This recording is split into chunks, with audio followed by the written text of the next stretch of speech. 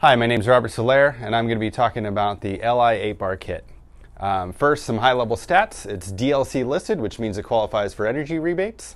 Uh, 654 watts input, 1641 micromoles output, 2.5 micromoles per joule, um, which means it's, it's going to be a rock star for energy efficiency. It's going to have all the output for any of your indoor grows um, that you would ever have need for. Um, it's IP66, meaning it's going to reject any water you throw at it as well. Now let's talk about the design.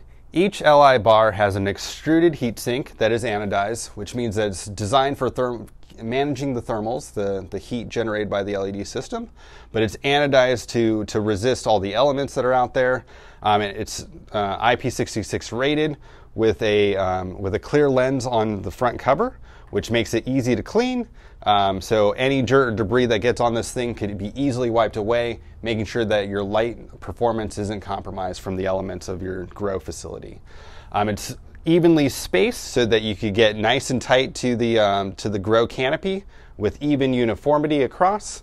Um, this particular one is designed to be integrated into a um, racking system, your favorite racking system. This one happens to be a Pipp, Pipp mounting um, system.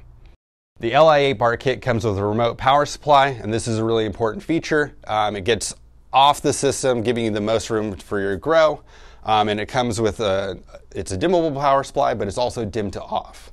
So a lot of times um, when you switch on and off these power supplies, there's a lot of inrush current that could put a lot of stress on your switches.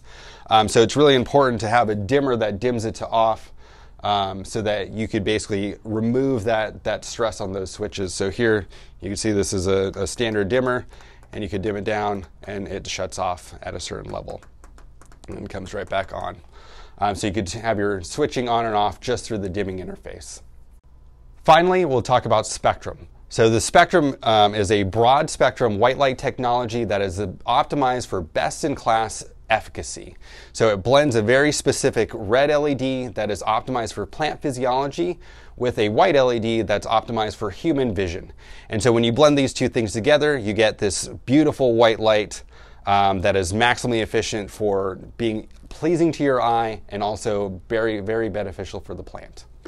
So there we have it. Um, best in class efficacy um, and uniformity from a low profile fixture all designed to be integrated into your racking system. All the elements of this design is what makes BIOS naturally brilliant.